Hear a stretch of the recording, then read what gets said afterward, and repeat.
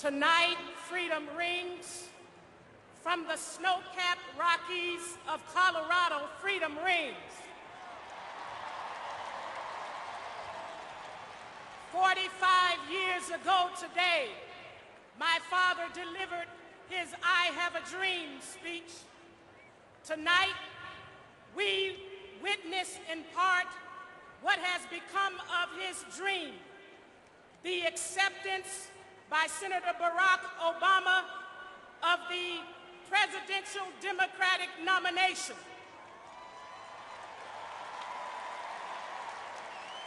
Decided not by the color of his skin, but by the content of his character. This is nation's greatest defining moments. 45 years later, I am proud to introduce another Martin Luther King, the firstborn son of our parents, Martin and Coretta King, born into the generation that would realize the dream and who leads the organization Realizing the Dream, Inc., through which he addresses pressing issues confronting our nation and world, such as health care, education, values, poverty, and war. He is a human rights activist, a man on the move. Please join me in welcoming the son of the dream and my dear brother, Martin Luther King III.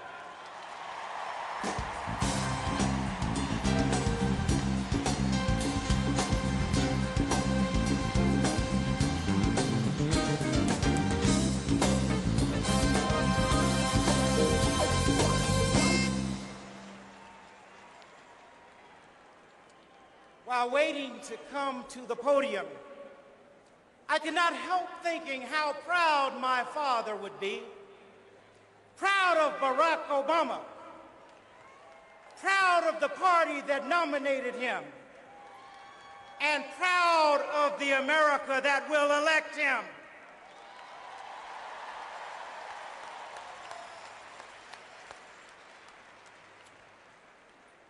On this day, exactly 45 years ago, my father stood on the National Mall in the shadow of Abraham Lincoln and proclaimed, I have a dream that one day this nation will live out the true meaning of its creed.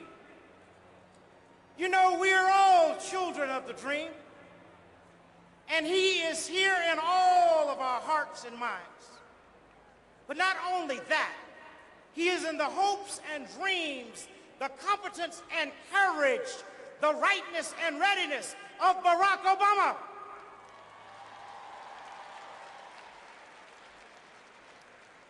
But my father would be quick to remind us that realizing his dream is not Barack Obama's job alone.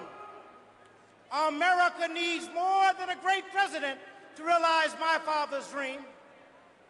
What America needs is a great America. Let me paraphrase my father. For the ultimate measure of a nation is not where it stands in times of comfort and convenience, but where it stands in times of challenge and controversy. On some questions, cowardice asks, is a position safe? Expediency asks, is a position politic. Vanity asks, is a position popular? But that something deep inside called conscience asks, is the position right?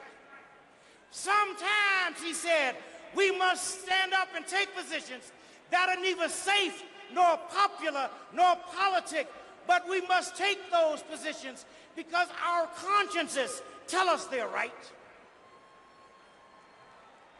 And if we are to be a great democracy, we must all take an active role in our democracy. We must do democracy. Uh, that goes far beyond simply casting your vote. We must all actively champion the causes that ensure the common good. For in five short years, when we reflect upon the 50th anniversary of the March on Washington, let us look back and celebrate our audacity to redress poverty. Commemorate the hope and faith that led us to take charge of our lives and communities, and venerate our dream of life, liberty, and happiness through our renewed commitment to prevent unjust wars from ever being waged.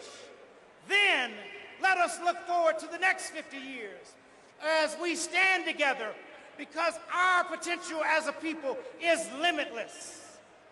Work together because our ability to do good in the world is boundless. And live together because our values of fairness, full justice, opportunity, and the majesty of the dream. On this 45th anniversary of the March on Washington, and in honor of the legacies of my father and Bobby Kennedy, let us give our nation a leader who has heard the, this clarion call and will help us achieve the change because we still need Barack Obama. Thank you so much, and may God bless you always.